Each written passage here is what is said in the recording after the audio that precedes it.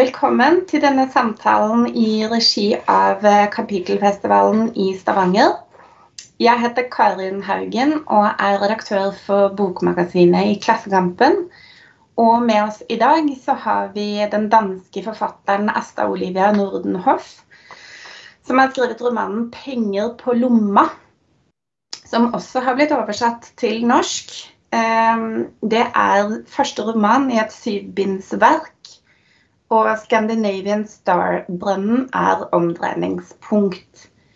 Og så har vi med oss eh, vår egen norske Atle Berge, som har skrevet romanen 'Puslinger', eh, som har en annen tragedie som utgangspunkt, eh, nemlig Alexander Kielland-ulykka og dens eh, etterdønninger.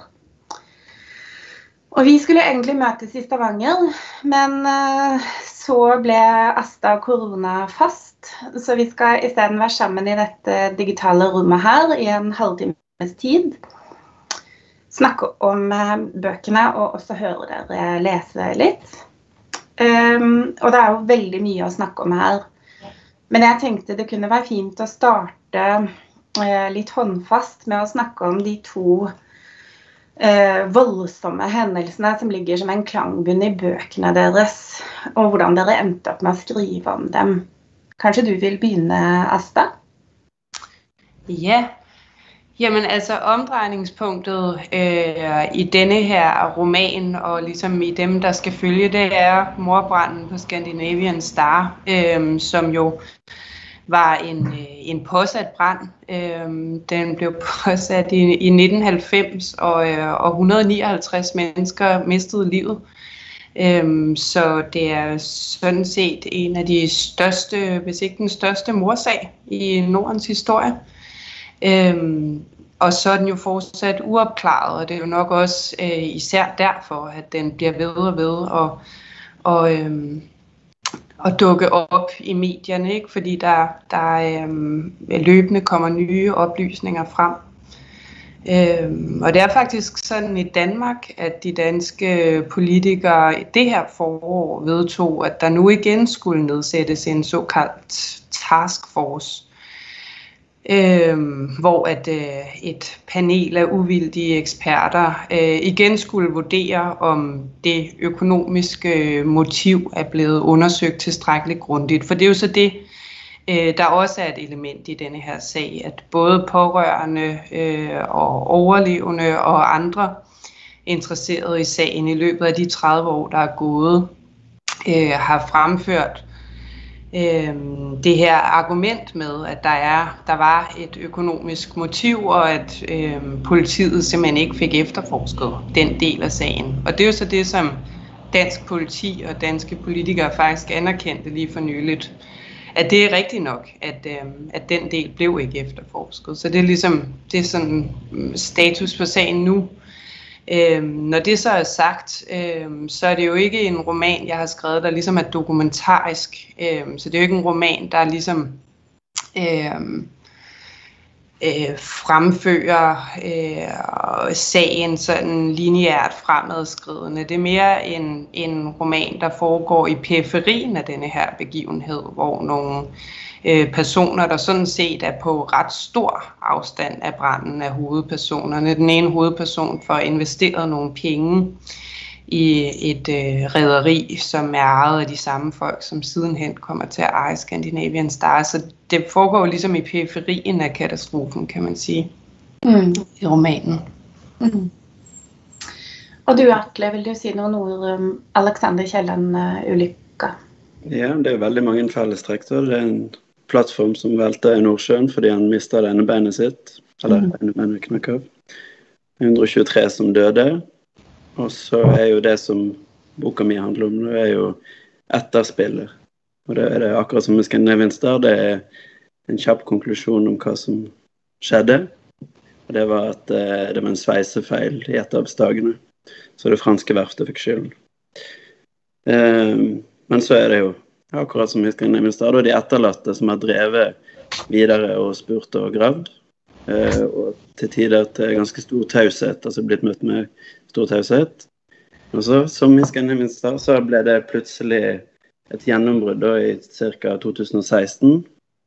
Da begynte Universitetet i Stavanger å grave fram folk som hadde vært på altså, overlevende, historiene til overlevende sånn, som fortalte helt alternative årsaksforklaringer.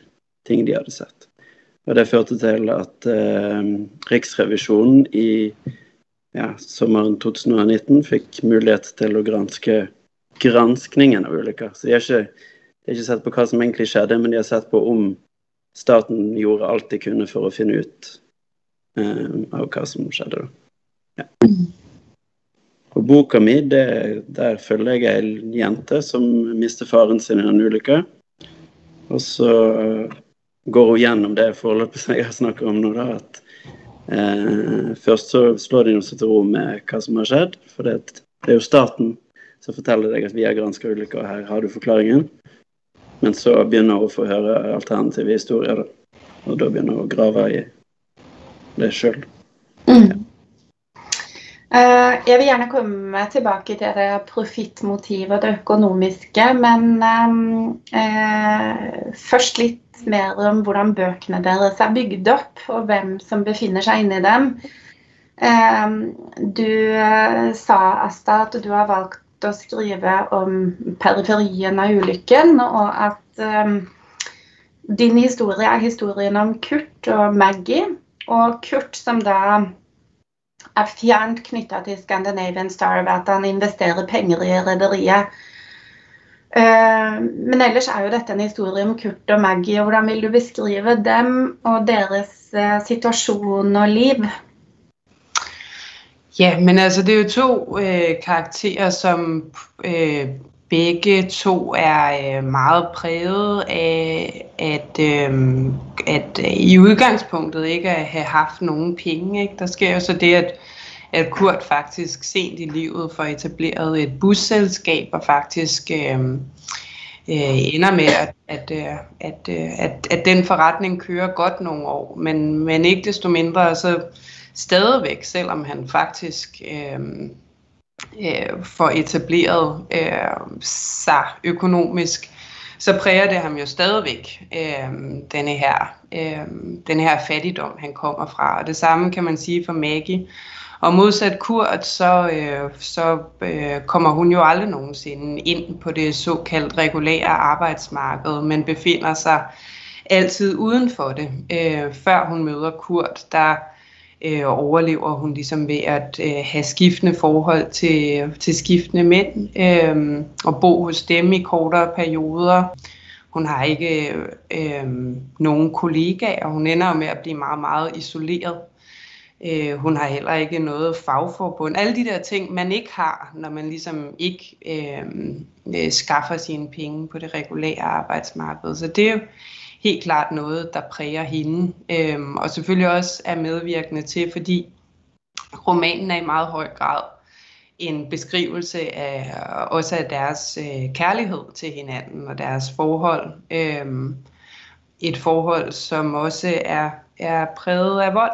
Øhm, og det er klart, at det bidrager øhm, til at Maggie øh, har svært ved at se en anden tilværelse for sig, at hun ikke har noget at falde tilbage på, eller en selvstændig økonomi. Ja. Mm. Mm. Og du Atle, du nevnte dine, dine hovedpersoner, for det er jo eh, etterdønninga av ulykka du skriver om. Eh, og det er da Astrid som har mannen sin eh, Jonny Nordsjøen, eh, og han dør. Og så er det datteren deres Marita, som er åtte år gammel når historien begynner. Men vi følger jo henne i, på vei inn i voksenlivet. Og hun har jo helt fra barnsbein av en sånn um, drøm om å bli oljeingeniør. Mm. Så de personene du skriver om, er jo personer som er kasta ut i en uh, tragedie. Men det er jo også en, olje, olje, en oljefamilie du beskriver. Absolutt, og de lever i en oljekultur. Så derfor er jo det kanskje det litt rare at um, Og sånn opplever jeg at det virkelig er at selv om de, hun har mista faren sin i den ulykka, så vil hun bli oljeingeniør. altså Hun, får, hun avviser ikke hele kulturen, fordi hvis hun gjør det, så avviser hun jo hele miljøet sitt. altså Alt hun er omgitt av. og ja, Alt i hele identiteten sin, nesten. Hun er veldig en veldig viktig del av henne, det at hun er en oljeunge. Eller, ja. Men òg Astrid har jo en del paralleller til ja. Til Maggie. til Maggie. Altså, ikke, det, ikke noe prostitusjon, eller noe sånt, men hun opplever konstant dette med siden hun bare har den ene inntekten sin, så går hun på altså, konstant i situasjoner der hun må skamme seg over å ha for lite råd. F.eks. skal plutselig Marita konfirmeres, og da må hun drive og låne penger i smug, sånn at ikke dattera opp dager at de er fattige, f.eks. Og alt dette kommer jo som en direkte konsekvens av ulykka. De etterlatte fikk jo et ganske dårlig forsikringsoppgjør. Mm. Eh, bortsett fra de som eh, ikke aksepterte det og gikk til sak. Ja. Um, ja. Jeg lurer på om jeg... En ting som kanskje lyst til å si, som også handler om masse paralleller til Astas bok, er jo det med taushet. At de velger jo veldig, altså mor og datter velger veldig to ulike strategier. Astrid vil absolutt ikke snakke om ulykker. Hun vil ikke snakke om penger. Hun vil ikke snakke om noe ting nesten annet enn liksom vil bare at det skal være koselig og ja. Sånn. Mens Marita da er den figuren som virkelig må ha sannhet. Altså det er mer verdt enn at det er hyggelig eller koselig eller ja. Så det mm. tenker jeg er en sånn drivkraft eller, ja, i boka. Mm. Ja, det er to veldig ulike, ulike strategier som de holder veldig hardt på begge to. Ja. Det er det. Um, men vil dere lese litt nå, sånn at vi kan få litt følelsen av stemninga i bøkene, og la bøkene snakke litt direkte til oss? Mm. Du, vil, vil, du begynne, Asta? Det kan jeg godt. Jamen, nu snakkede jeg jo lidt her øhm, om Maggie, så det kan være, at jeg skal læse en passage op, der handler om hende. Der er vi så tilbage i øh, hendes ungdom. Øhm, ja. Hun tager en taxa og fylder kabinen ud med en tung duft af ravgul parfume. Frem i lejligheden giver manden, hun mødte et par dage inden sig til at fremvise sin nye støvsuger. Han tænder for kontakten og holder røret frem mod hende. Se, hvor den suger, og for at gøre det endnu mere klart, sætter han røret mod sin egen arm og suger sin hud et stykke med ud. Maggie ved ikke, hvad hun skal forstå ved det optrin. Hun drikker af rødvinen, som sikkert er dyr, og bag hendes arrogante grimasse er det, som om bunden går ud af en spand, som om hofterne næsten ikke kan holde på vandet, latteren. Det er hendes plan at få lov til at være her mindst en uge. Det skal udfylde et hul, der er opstået mellem andre muligheder. Hun er prisgivet, det er klart, alle disse mænd med deres støvsuger og ludende hundeansigter, men hvad skulle hun ellers gøre? At arbejde på en fabrik, stemple ind klokken 5 det vil aldrig kunne lade sig gøre. Det regulære arbejdsmarked har ikke noget rum for et menneske som hende, som indimellem skal bruge en hel dag på at græde, eller ligge på en plæne og overrisles af angst og aldrig, aldrig ville kunne møde til tiden eller rigtig høre efter en besked. Der findes ingen arbejdsgiver, der kan bruge hende til noget, og desuden, hvis hun skal bruges, og sådan er loven, vil hun gerne bilde sig ind, at hun selv bestemmer, hvordan. I det mindste er der ikke rigtig nogen, der kan fyre hende. Hun er blevet fyret tre gange, to gange som barnepige og en gang som ekspeditrice, efter kun et par dages arbejde. Hun anstrengte sig under fyringssamtalerne, holdt på ansigtet og tårerne, indtil hun var ude, hvor tårerne gik løs. Ydmygelsen ved at blive fyret er, hvad den er. Hun har for længst opgivet at have en ære, men penge. Penge et rum, der udvider sig langt hensides smertegrænsen. Passer det meget godt sådan tidsmæssigt? Ja. Vil du også lese litt, Atle? Yes. For alle som har skrevet om Alexander Kielland-ulykka, har det vist seg umulig å ikke nevne ett bestemt sitat fra forfatteren Alexander Kiellands roman 'Garman og Vorse'. Intet er så rommelig som havet, intet så tålmodig. På sin brede rygg bærer det lik en godslig elefant de små puslinger der bebor jorden, og i sitt store, kjølige dyp eier det plass for all verdens jammer. Det er ikke sant at havet er troløst, for det har aldri lovet noe. Uten krav, uten forpliktelse, fritt, rent, med uforfalsket, banker det store hjertet, det siste sunne i den syke verden. Slik så Astrid Lange det også. Det var ikke havet som hadde tatt mannen hennes fra henne, men alle sjefene i oljebransjen som setter profitt framfor tryggleik. Hun visste godt at stilen på plattformene var svært amerikansk. Kjappe kommandoer. Tempo, tempo, tempo.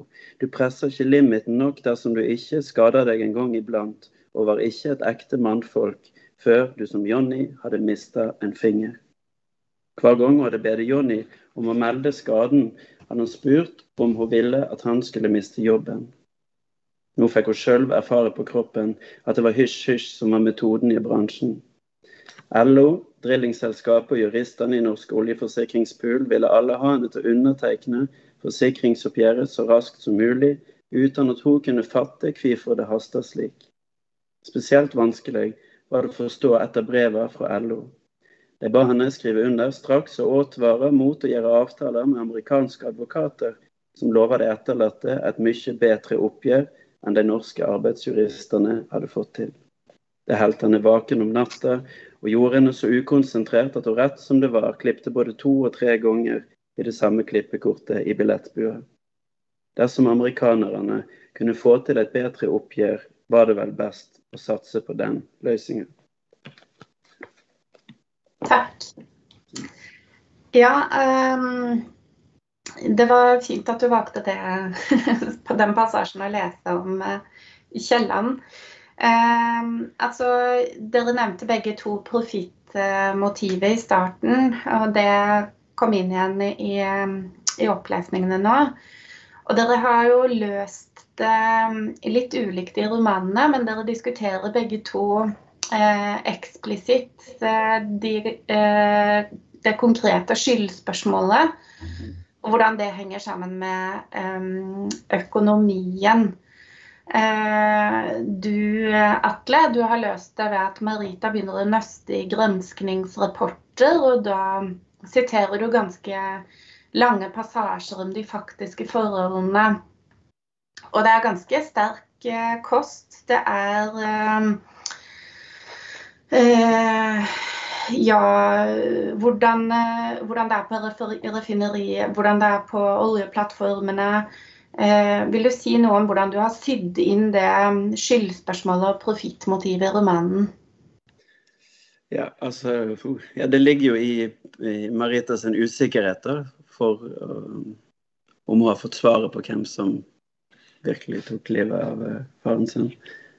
Um, og det jeg har gjort, er jo å bake inn alle detaljer og sånn etter hvert som hun finner ut av det.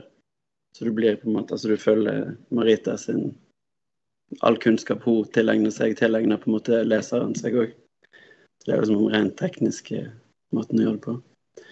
Eh, men det som er vanskelig i selve saka, er jo at antageligvis er veldig mange forskjellige årsaker mm. til altså som har skapt ulykker. Og jeg har snakka med eh, folk eller kilder som sier at det kunne skjedd på en annen plattform òg. Det er hele arbeidskulturen eh, der nettopp det som jeg la om, med tempo, ting må skje fort. Masse midlertidige ansettelser. altså Det er liksom en oppskrift på hvordan du ikke skal lage et arbeidsliv. da, på en måte. Fordi mm. folk blir redde for å si ifra, for da blir de sendt på land. eller, ja. Så det er på en måte den, det er jo der profitten kommer inn. at Det er den kulturen som Eh, skape ulykker. Uansett egentlig hva som er årsaken. Mm. Og der, også, der, spiller jo òg politikerne og staten en ganske viktig rolle gjennom at Veritas, altså norske Veritas, de som klassifiserer plattformen, hele tiden har gitt godkjent altså de utsatte kontroller og sånne ting. Um, hele, altså, ja, igjen og igjen, da. Mm. Og de fikk vel òg ganske skarp kritikk av um, Riksrevisjonen. Mm. Jeg kan jo si altså Riksrevisjonen konkluderte jo med de konkluderte ikke med ny gransking, men de konkluderte med at staten har svikta de etterlatte overlevende ved å mm. ikke kartlegge alle andre forklar mulige forklaringer mm. på hva som kan ha skjedd. Og du Asta, du har også en um, god del direkte beskrivelser og betraktninger om um, profittmotivet. Men du har løst det ved å um, samle det i en essayistisk uh, faktadel i, i, midten av romanen. Vil du si litt om det valget og den delen hvor du, hvor du skriver veldig tydelig? Ja, men på en måte gir det jo seg selv at jeg, at jeg har måttet leve en en anden komposition end den, som der for eksempel er i Atlas på, fordi jeg netop har karakterer, der er på langt større afstand af begivenhed, og som sådan set nærmest ikke aner, at de selv har nogen form for involvering i den. Ikke? Så jeg kan jo ikke lade dem reflektere over det. Det indgår jo ikke i deres, øh, øh, i deres refleksioner.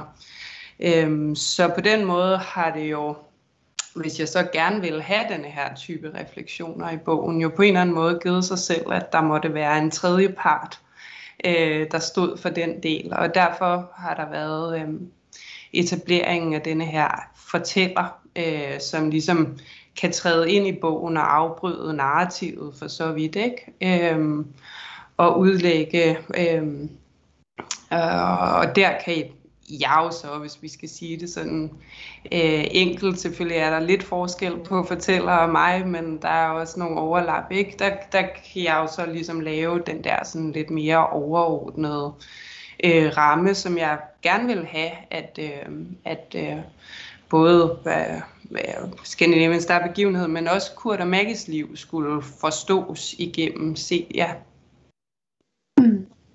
Ja, du, um, det er jo en kapitalismekritikk eh, som kommer frem. Eh, og det er mange fine sitater eh, fra din bok.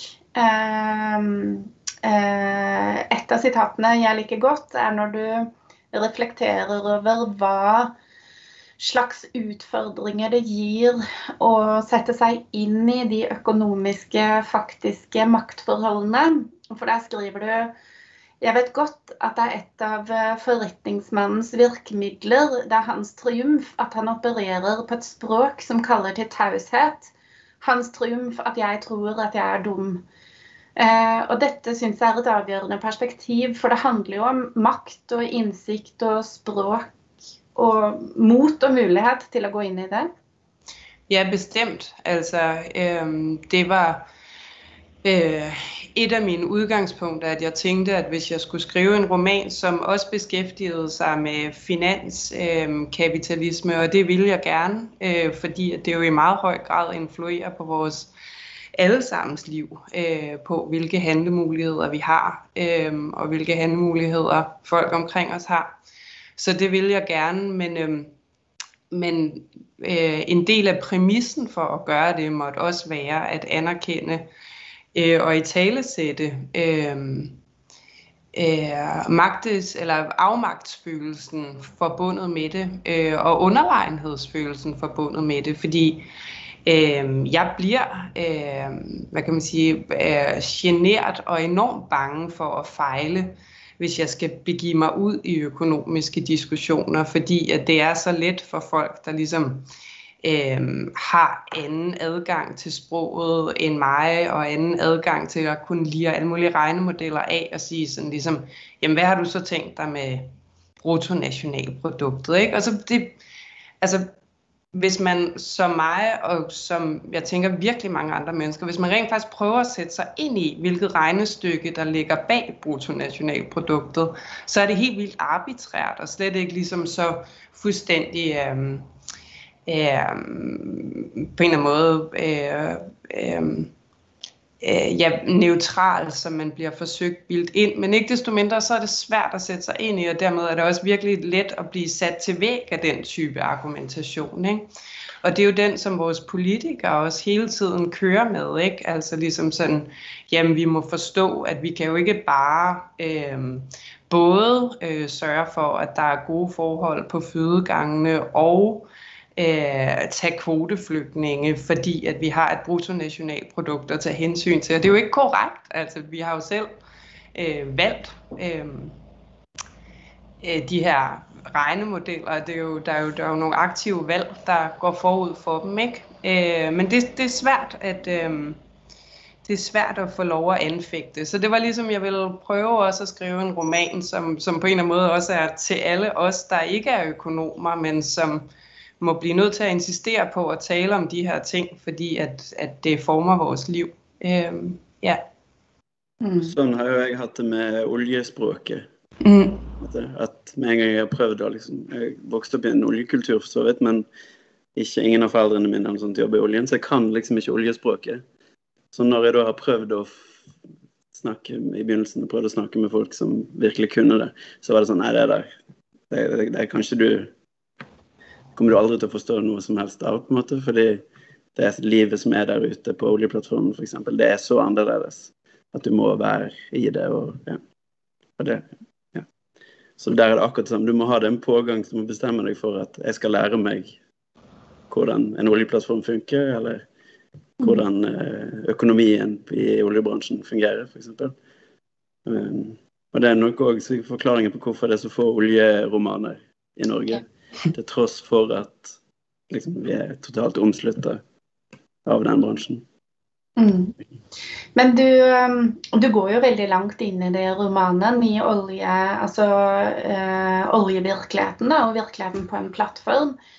Og beskriver, øh, ja, beskriver arbeid og beskriver vilkårene og virkeligheten.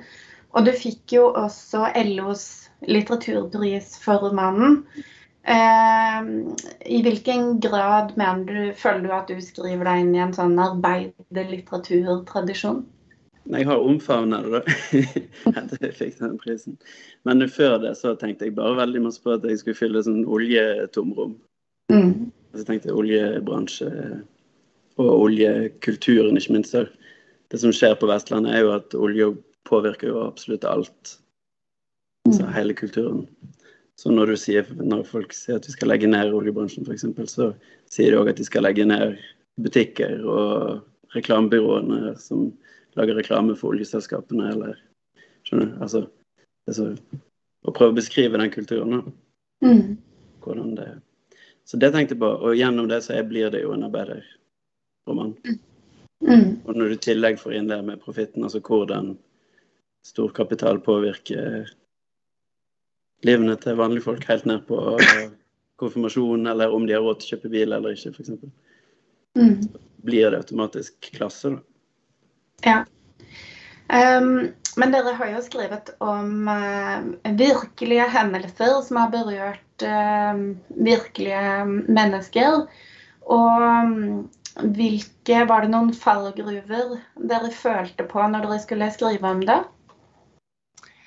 Ja, altså for mig var det i hvert fald, øh, stod det ret sådan øh, tidligt i projektet klart, at jeg ikke ville beskrive selve morbranden. Øh, og det ville jeg ikke, øh, fordi at øh, jeg tænker, at, at i, i, i hvert fald i denne her sammenhæng og i det her projekt, der, var det, der er det en historie, jeg tænker, at øh, dem, der har været ombord på skibet, dem, der har pårørende der, det, det er deres historie at fortælle. Altså en roman, altså en katastroferoman, der tager udgangspunkt i en i en historisk begivenhed, er jo en risiko for ligesom at komme til at lukrere på øh, smerten og lidelsen og alle de her ting. Ikke? Så det er jo i hvert fald noget, som jeg tænker, at for hvilken som helst øh, roman, der tager udgangspunkt i, i, i, i en, en begivenhed, der, der har ført til stor lidelse for andre mennesker, der må der være en masse spørgsmål omkring,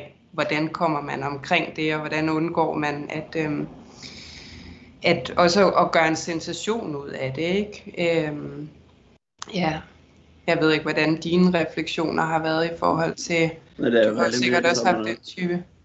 Nei, jeg er veldig redsel for å Altså, jeg bare retraumatiserer eller bringer opp igjen ting som Men samtidig så har jeg jo Jeg støtter meg veldig på det at det er en, veldig, en stor organisasjon med etterlatte som har jobba beinhardt for å få saker opp igjen.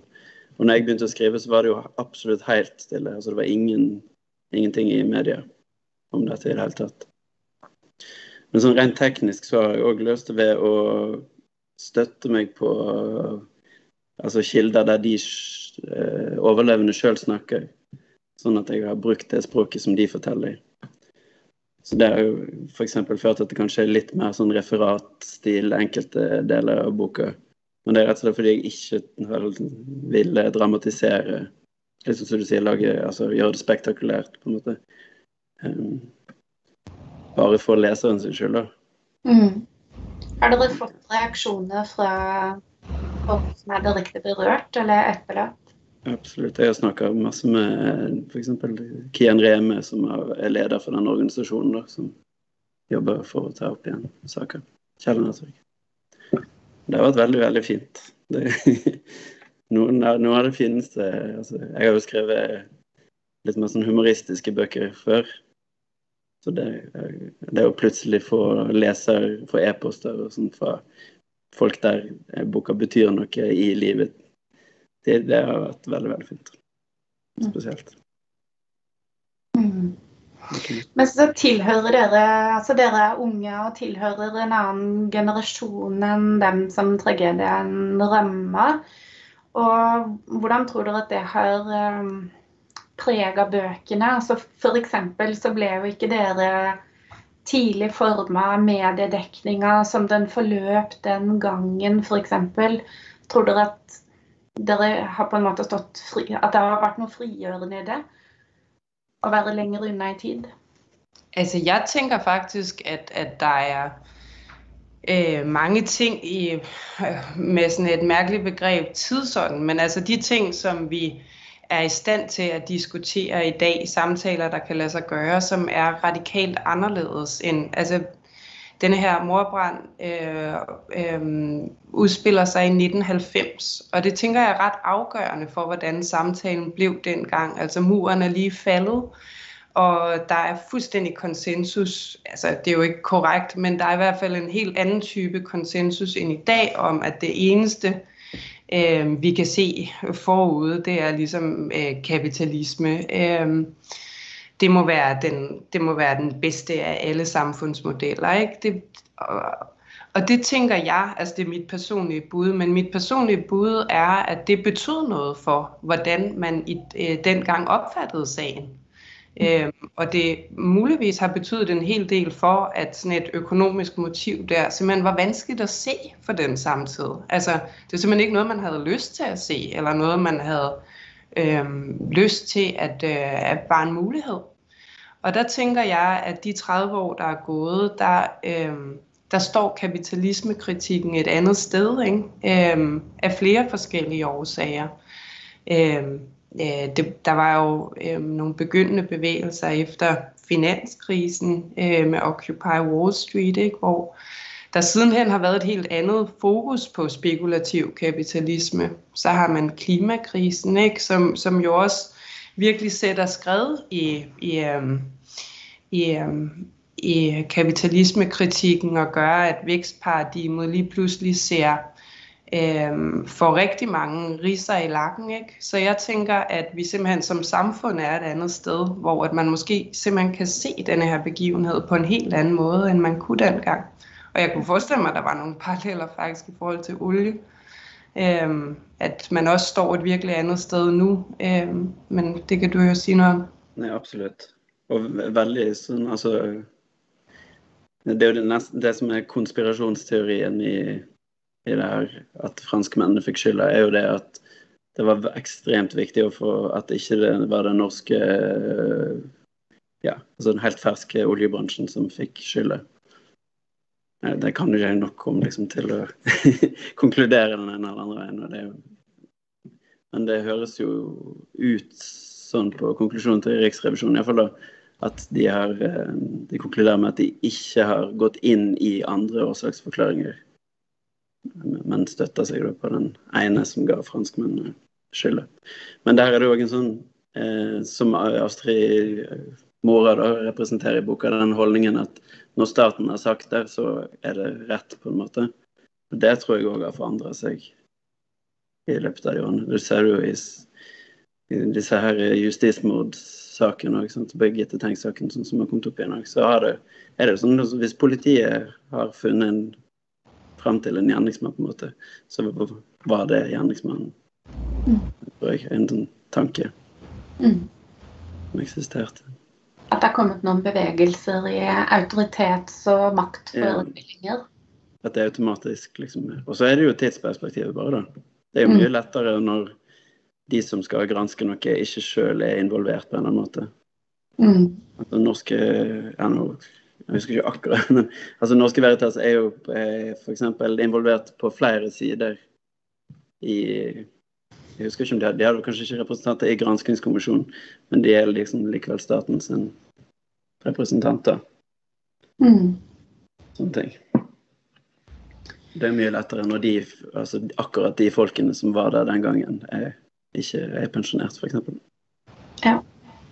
Det blir en bevegelighet i stoffet. Mm. Mm. En bevegelighet i Ja. stoffet. Mm. Eh, det er veldig mye mer å snakke om i disse bøkene og med disse temaene, men eh, vi, tida vår har eh, gått fra oss. Så jeg tror vi får eh, si takk for dere, og um, så får vi vente på de neste delene av din Ja. romanserie. Når kommer del to, Astrid. Jeg skal avlevere den her til jul, ikke? Og så øh, øh, på et tidspunkt øh, i løpet av 2020, øh, 2022 hedder det. Øh, forår, sommer, sådan noget. Ja. Da får vi vente på neste del og på, um, og på neste bok fra deg, Atle. Ja.